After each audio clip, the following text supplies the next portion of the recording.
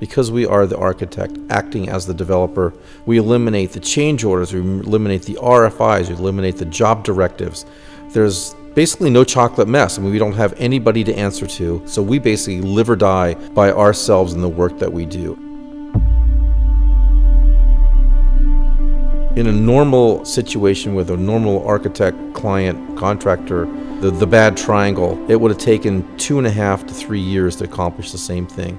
Would have resulted in lawsuits, change orders, liens, and we were able to build a seven story concrete building, 38 apartment lofts in 14 months.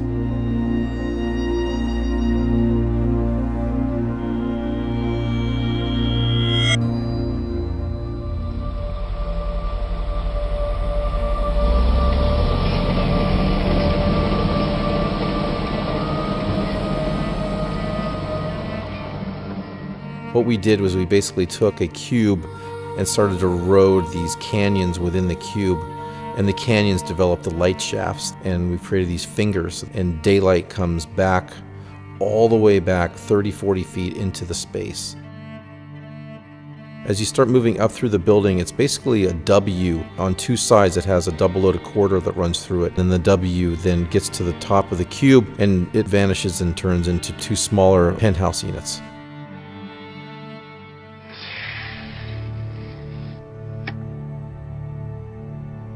The process is the most painful part. My greatest fear is that the next project won't be as good as the last.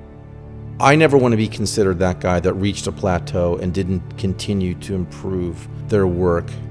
And the fear of that happening is what motivates us.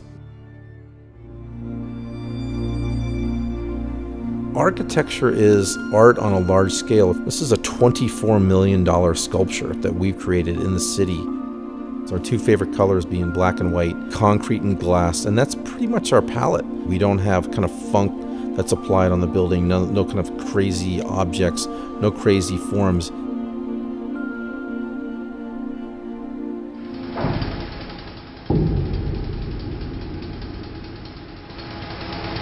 It's, just not easy to build buildings out of concrete. I mean, you build it basically once and it's done, and there's so many parts that live within that nine inch slab system, the post tension cables.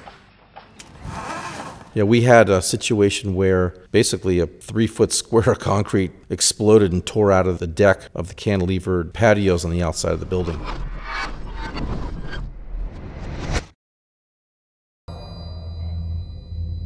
So, with the Mr. Robinson, we hope that we've left a beautiful object that has this wonderful collection of rhythms, proportions, negative spaces that we've created in the city